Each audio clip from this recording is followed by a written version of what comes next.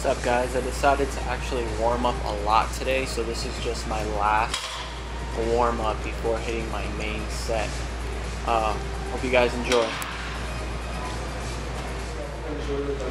What's up guys? This is my first set. Um, I'm experimenting with the MacBook mic, so bear with me. Um, and right here I kind of lose my balance but I ended up recovering pretty well. But speaking of recovery, actually, the last two workouts I felt like were grinders.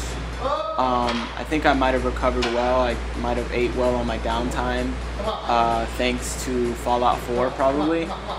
Just sitting on my couch and doing nothing.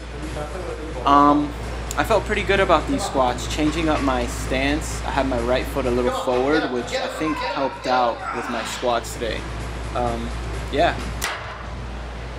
So still no belt here, guys, with the squat. Um, but what I've been noticing is that my my first three reps here look pretty good. Um, not a lot of, you know, the knee going in. Um, I feel like during four and five, the squats look a lot harder than they really are, um, just because my knees go in. Um, hopefully, I can try to get that resolved soon, but yeah, other than that, this set went pretty well. I, I didn't feel like failure was close, so that's good. Oh snap, let me get out my belt. Yeah, um, I'm pretty happy with these. Um, not a lot of knees going in here. Um, I popped them out pretty smooth. I think right here I adjusted my feet. And, um, all in all, this set went really, really well. Um, after this, I just killed, I think, some shoulder press.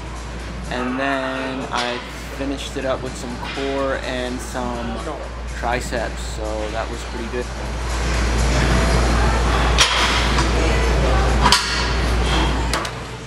Alright, so this is the last little bit of triceps. Uh, I think we were doing like two second holds. I think you hear in the background one of the trainers, uh, George, don't be a little bitch make sure you go deep. And I was like, all right, I'll go deep. And your mom, just kidding. But yeah. So this concludes the first time I actually commented over a video. Um, it was a lot of fun. I fucked up a lot, but that's okay. Um, hopefully you guys stay tuned. I'll be posting more. Take care.